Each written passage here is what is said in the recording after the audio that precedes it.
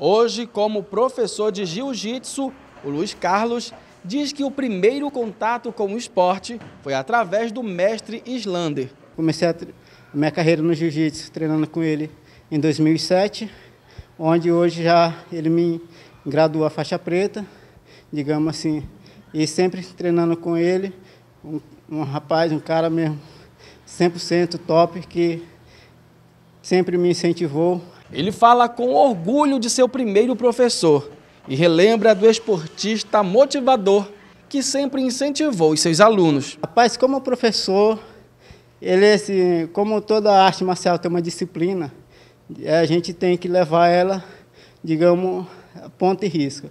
Só que assim, o ponto dele sempre foi amigável, nunca foi aquele professor de estar tá maltratando seus alunos, maltratando aquelas pessoas que estavam ali, sempre abraçando, sempre conversando puxando a orelha na hora certa, mas, digamos, como professor, foi uma ótima pessoa. Islander era natural de Ubaitaba, Bahia, e chegou a Parauapebas no ano de 2001, onde iniciou a prática de jiu-jitsu e a ensinar a arte marcial para crianças, adolescentes e adultos.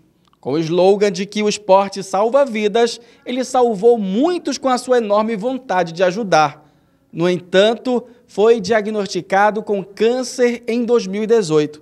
Ele lutou contra a doença, mas, infelizmente, no dia 23 de fevereiro de 2019, o meio esportivo recebeu a triste notícia do falecimento do mestre, como era chamado por amigos.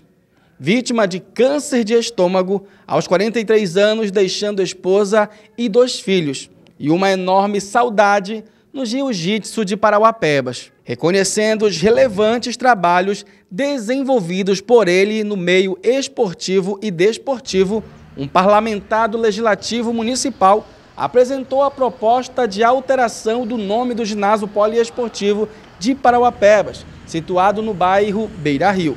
O projeto de lei número 74/2019 é de autoria do vereador Horácio Martins do PSD proposto na sessão ordinária da Câmara Municipal e aprovado por unanimidade pelos vereadores. Portanto, o ginásio da cidade passa agora a ser chamado de Ginásio Poliesportivo Municipal Islander Santos Souza, uma forma de homenagear o esportista que fez bastante pelo esporte de Parauapebas.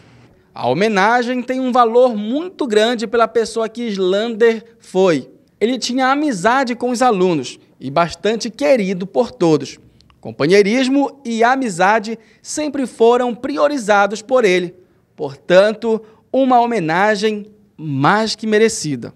Rapaz, representa sim uma, uma visão do reconhecimento onde a arte marcial ela não está morta, onde a arte marcial ela tem mais a crescer com, esse, com essa homenagem a ele.